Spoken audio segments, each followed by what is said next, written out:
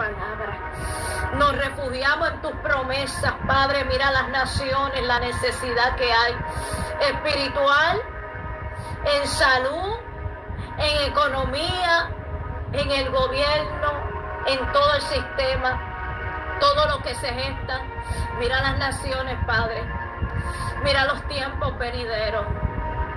Padre, mira las plagas, las pestes, las calamidades mundiales. Sabemos que es tiempo profético.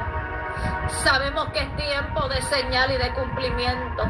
Sabemos que vamos a pasar por la purificación Tú has venido hablando, Padre, que el año 2024 es un año de desafío.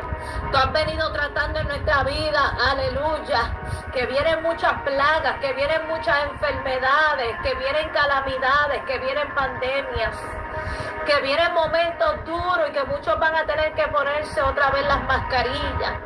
Oh, que vienen diferentes eventos que van a golpear la tierra, no solamente en salud, sino en economía, en diferentes áreas que va a venir golpeando.